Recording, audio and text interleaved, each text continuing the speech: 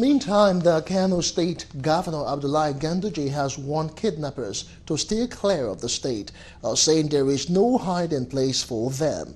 The governor, who stated this during an interview with journalists in Yola, attributes the successes recorded in the area of security, especially the ongoing war against kidnapping, to proper coordination among security agencies in the state.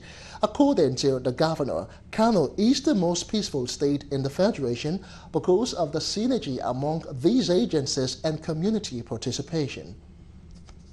Most of those kidnapped people and those who are kingpins of kidnapping are being arrested in Kano. If you recall, the Sarkin, the Magajin Garin Daura, the, those who abducted, uh, those who kidnapped him were arrested in Kano, and I ordered for the demolition of the house. Also, the kingpin from Taraba State, a notorious kidnapper, was arrested in Kano.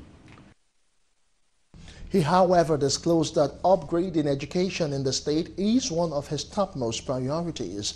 The governor promised to do everything possible to make education compulsory.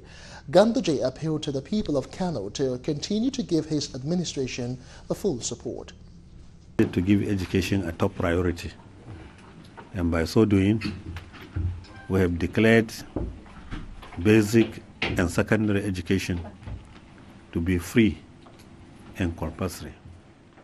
Also, we decided the Almajiri system to be integrated. We decided girl education should be given top priority.